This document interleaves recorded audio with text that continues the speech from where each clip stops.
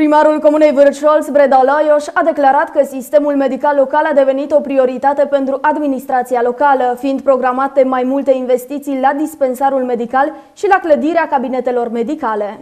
Primarul Comunei Vârșolț, Breda Laios, a anunțat că investițiile în sistemul medical sunt esențiale într-o comunitate de la sat.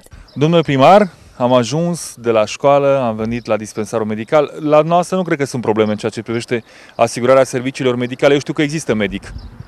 Nu avem probleme în privința asta, avem uh, medic de familie, avem asistent, așa că sunt puse la punct problemele. Haideți să mergem la dispensarul medical, cred că aici e, nu? Da?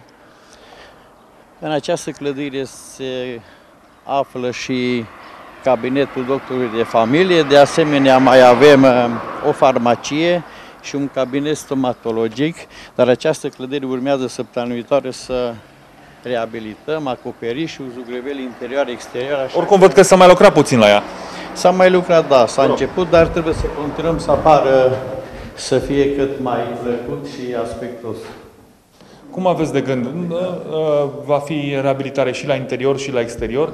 Da, se reabilitează, se zugrăvește interiorul, reabilitare în exterior.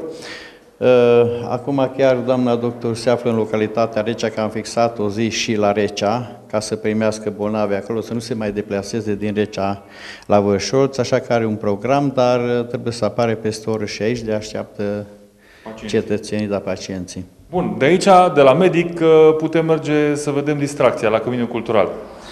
Înainte de a merge la Cămin, ar trebui să trecem la cabinetul la farmacie și la cabinetul stomatologic în partea opusă a clăderii ca să vedem și acolo Excelent. se desfășoară problemele. Vă urmăm.